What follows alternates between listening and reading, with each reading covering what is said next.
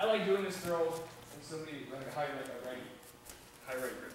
This is what I want here. And the first thing you have to remember is you, if you're going to do this, you can't bend over. If he takes a grip on me, I can't bend over because you can't, you can't never come up. When he takes a grip, he takes the, the lapel. I stick my shoulder into it here, this way. Okay. Kuzushi, I, and this is where it's personal preference. I play at the end of the sleeve.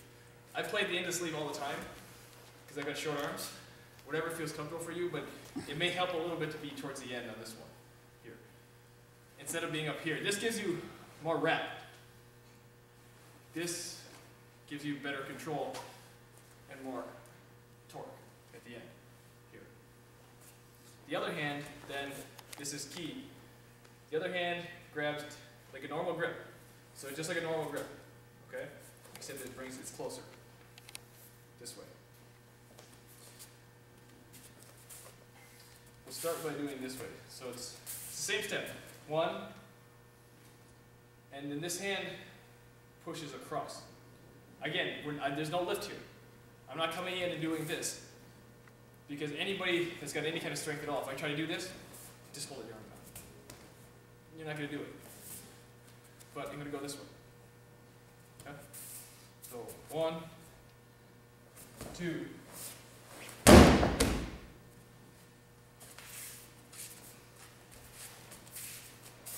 Okay. The hand goes like this. See how it, it turns?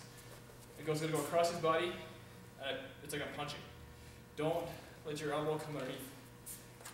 This is a habit a lot of people have. It's one, it's hard on your elbow.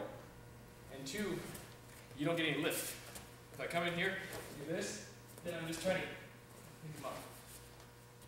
Whereas if I'm doing this, and then I go down. It's going, it's the same low step. You don't do it quite as low on this one, but it's the same, you have to go low again. So again, one, two,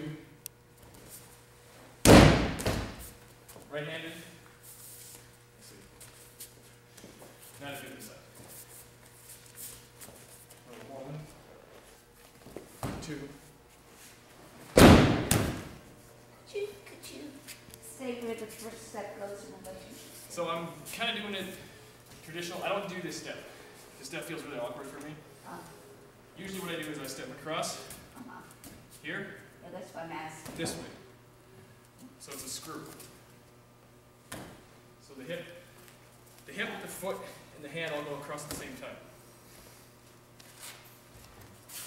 I think we should start with this first.